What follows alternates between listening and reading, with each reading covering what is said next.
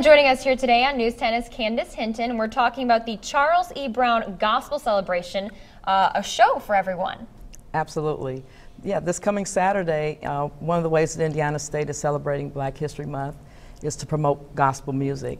And we're going to have that celebration this coming Saturday uh, at Tilson Auditorium. And we're featuring two nationally recording, uh, nationally known recording artists. Wow. Uh, Kierra Sheard and J. Moss. And uh, we have some other local artists, uh, artists from Indianapolis who will also be performing. And so we're extremely excited about gospel music coming back to our campus.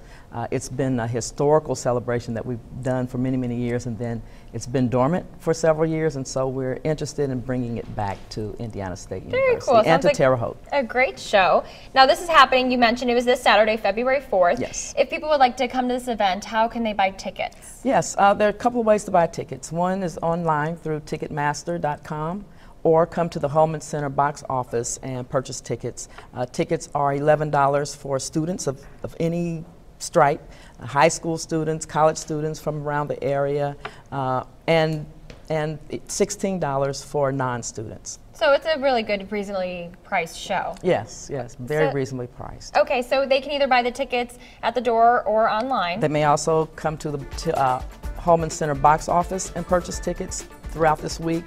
They can purchase them at the door as well. Okay, are you expecting or recommending people to buy them ahead of time just in case the show? I am absolutely recommending folks buy tickets today, tomorrow, uh, well in advance of Saturday's show. Okay, so just make sure if you really want to go get your ticket early. Please get your ticket early. Get All your right. ticket now. Thank you so much. well, thank you so much for stopping by. Thank you. You're very welcome. appreciate